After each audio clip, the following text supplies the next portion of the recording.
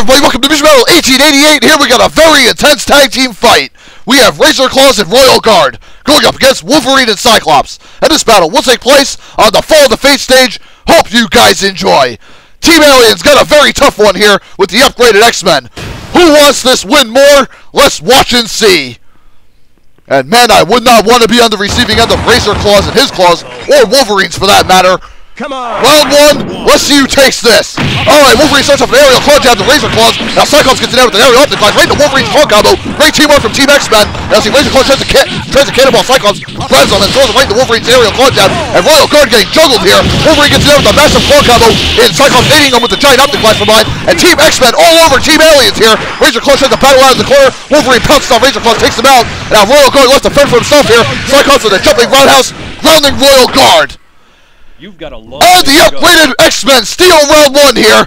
Let's see if they can do it again in round two, or will Team Aliens bounce back?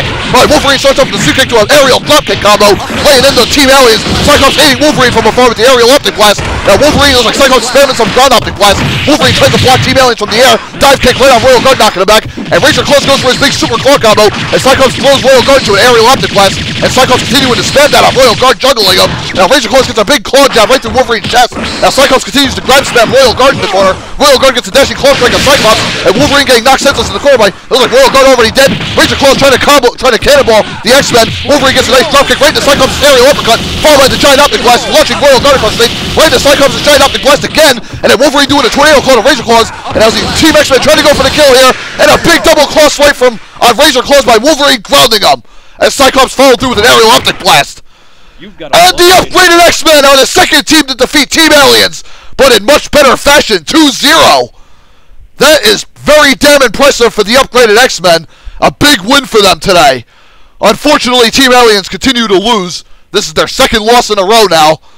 And I had a funny feeling they weren't going to fare too well against the upgraded X-Men because, well, Team Aliens aren't as aggro as they are, apparently. But Team Aliens did have some great defense, but unfortunately it didn't help them in this fight. And Wolverine and Cyclops finally acquire another big win, and they needed one for a while. And hopefully Team Aliens can find another win soon, I'm hoping. And stay tuned for Mugen Battle 1889, coming soon. Later, all.